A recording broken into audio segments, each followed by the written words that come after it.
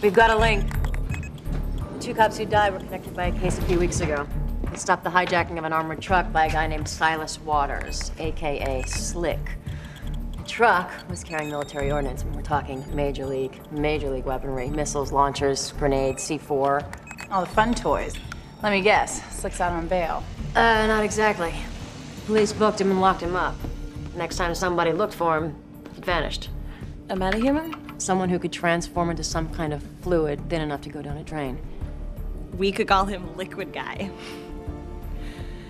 I'm just trying to contribute. The police report said Slick tried to bribe him with a cut. The weapons had a black market value of $30 million. Cops said no.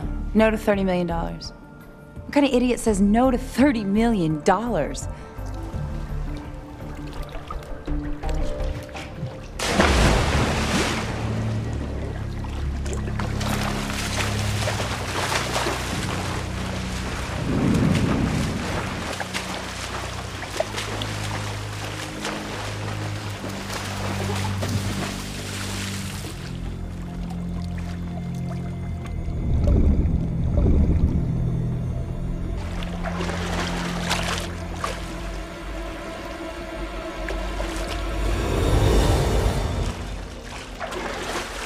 You again.